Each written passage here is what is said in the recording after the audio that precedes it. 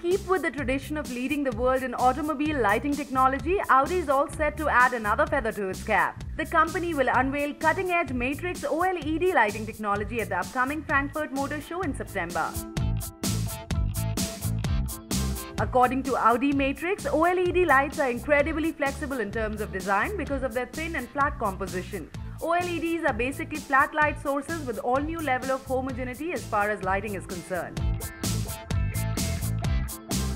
Fun thing about OLED lights is that they do not cast shadows and does not require light guides or reflectors. This is what makes OLEDs extremely efficient and lightweight.